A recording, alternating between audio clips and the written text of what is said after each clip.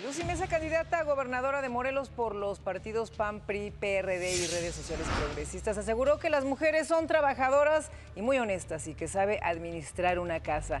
En ese sentido, las exhortó a salir a las calles en compañía de sus familias, a tocar puerta por puerta de cada familia morelense y mover conciencias y corazones. Y en diversos encuentros con simpatizantes en Jutepec, Temisco, Zapata, Lucy Mesa enfatizó la importancia de la participación femenina en el actual proceso electoral. Y Pablo Lemos Navarro, candidato al Movimiento Ciudadano de la Gubernatura de Jalisco, tiene planeado iniciar de inmediato la ampliación de la línea 3 del tren ligero y la apertura de nuevas rutas.